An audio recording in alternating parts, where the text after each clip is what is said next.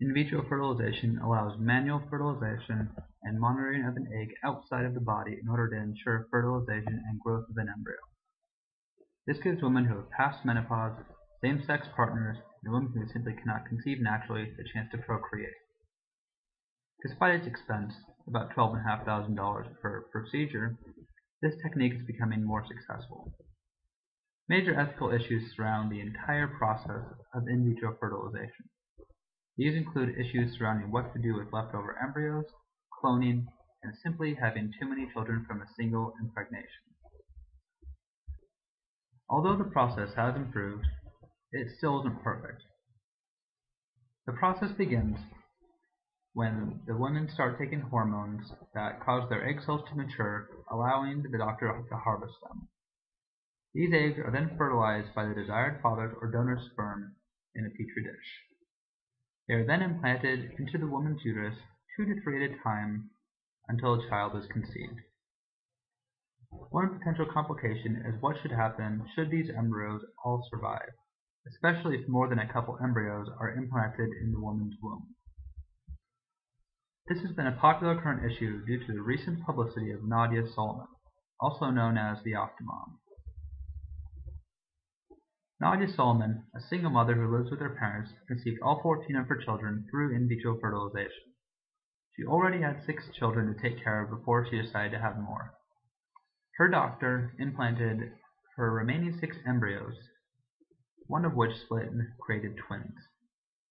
Babies is trouble, oftentimes harming the health of the mom and sometimes harming the health of the fetuses. Kaiser Permanente Hospital says the infants are doing well. The cost of their hospital care is expected to run into the millions. Every one of us at some point is going to be asked to pay, either in insurance premiums, social programs, uh, subsidizing uh, medical costs that individuals can't bear. Dr. Jamie Grifo calls this mega multiple birth bad medicine. How many babies would be okay? What would you say? In a single pregnancy? Yeah. Well, our goal as reproductive specialists is to help a patient have one healthy baby. And the reason for that is a single pregnancy is the safest pregnancy. Grifo says most fertility doctors abide by guidelines set by the American Society of Reproductive Medicine which would recommend implanting only one or two embryos in a 33 year old woman.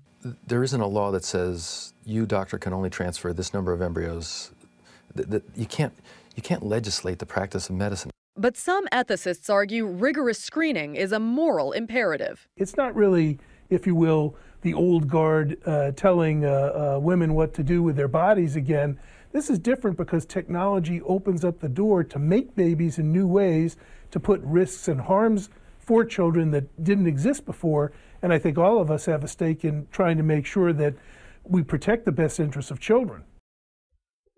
Although this is an extreme example, situations like this put potential mothers who undergo the procedure at risk of needing outside aid to take care of their newborn children, whether this aid is federal or from friends and family.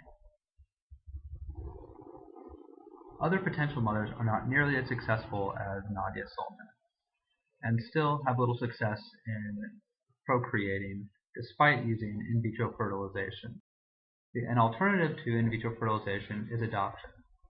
The upside to this is that the woman or couple would be able to choose exactly how many children they would be able to financially support. The downside is that these children are not genetically their own. Which leads to the question of whether a woman or a couple has a right to have children that are genetically their own? If so, how far can a person ethically go in this pursuit? Some say that in vitro fertilization causes embryos to be used as a commodity rather than treating them as human beings and giving them human rights.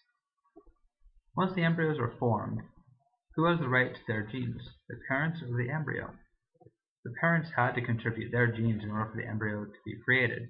However, the embryo is now its own separate entity. In vitro fertilization opens up many questions regarding a person's right to procreate and how it should be done.